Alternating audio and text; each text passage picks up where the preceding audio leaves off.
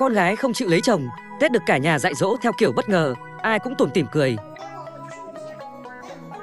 À!